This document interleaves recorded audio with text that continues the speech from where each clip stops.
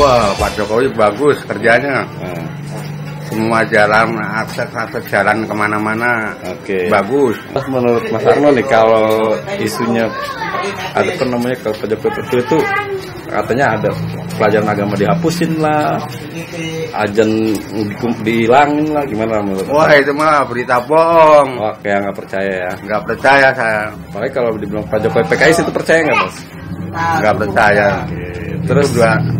Pak Jokowi lahirnya kapan? Iya.